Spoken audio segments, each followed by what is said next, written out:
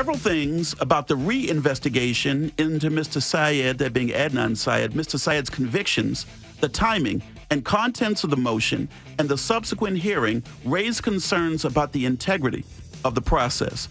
That is one sentence out of the 59 page, 10,000 word filing by Attorney General Brian Frosh. We've been asking, Brian Nehman, we've been asking, where is the Attorney General? Why won't he make a public statement about the state's attorney Marilyn Mosby's, you know, uh, going for the release of Adnan Syed, 23 years convicted of the murder of Hae Min Lee. Well, now here it is. It's not a, it's not a press conference, Mm-hmm. but it is a response that he filed in court that basically said BS. That's I'm it down. Yeah, BS. I, I know, and it's taken him a long time to come out with this, and it's a statement. I still think he needs to hold a press conference I to agree. talk to the media I about these that. things and kind of uh, go through this because it's kind it's extraordinary what's happening here. It is. that you have you know a, a Democratic state's attorney and a Democratic attorney general who don't even come close to seeing eye to eye on this. In fact, Mosby blames Frosh for these things, and Frosh is saying that Mosby's way out of line with what, what she is doing here. And meanwhile, this guy's gone free in a in an international case of of interest. I say again, Brian, behind this, and sometimes there are personal issues behind a public event. They have not, they being Marilyn Mosby and Brian Frosh, have not gotten along since he's been Attorney General and she's been state's attorney for the last eight years. They just haven't.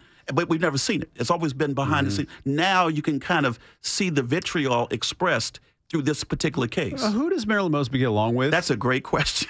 it's a great question. I mean, that's- anybody in a- burned. elected office or in It's a great question. I don't know. Maybe she gets along with Joe Carter. I don't know. Maybe, but there's very few people who In her I mean, circle. It, it's it's not the mayor. It's not No. the previous mayor. No. It's not the police commissioner. It's not the attorney general. It It's wasn't not the the prior governor. U.S. attorney. Not the and you know it's not the current U.S. attorney because of the not- indictment. Right. I, I mean, so there, there's.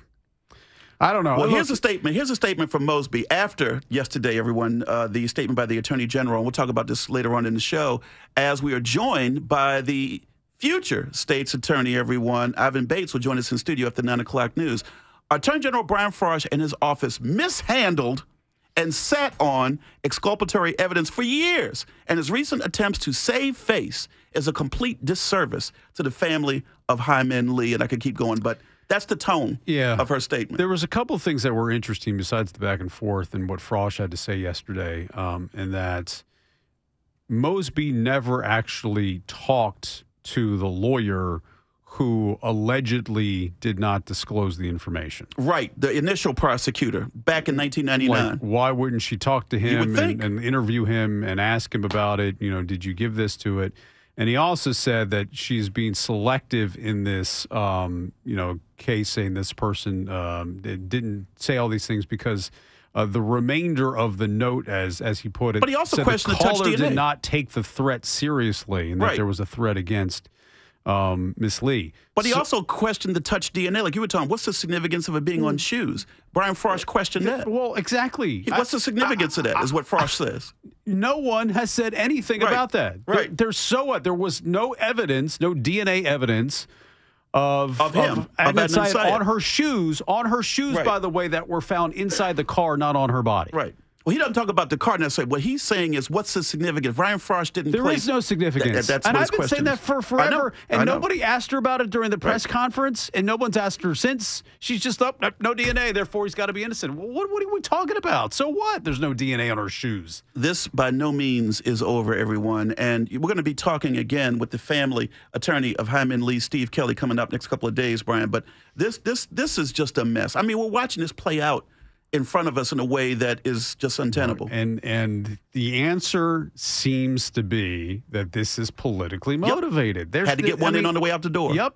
Gonna, gonna do in. this, throw it out there, and by the way, let me do this before my own trial starts. I mean, really, I mean that's I can't argue with th- that. th- It's cynical. No, it's but, not. But It's it seems like the, the the logical answer to what we have what what we have seen. Because legally speaking, I, I don't see this this case. I'm not a lawyer, but I look at this and I've got all kinds of questions. Really, we're going to go that quickly? Well, you know and what else I look at? Where's of a sudden- Judge? Where's Judge Phinn? Where where were her questions on this? Judge Melissa Phinn approved all this. Mm, mm.